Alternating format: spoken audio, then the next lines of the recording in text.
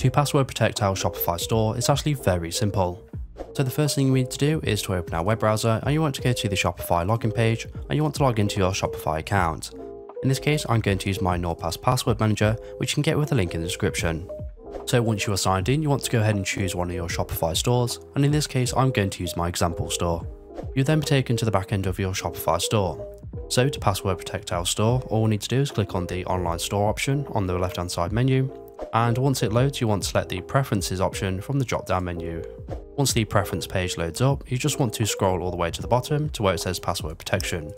From here, all we need to do is toggle it on, and then you want to select a password you want to use.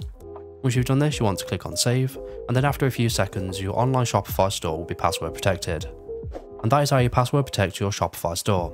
So if this video is helpful, please leave a like and pass on to someone who may find it helpful. And if you have any questions or comments, you can leave them below and I'll reply to you as soon as I can.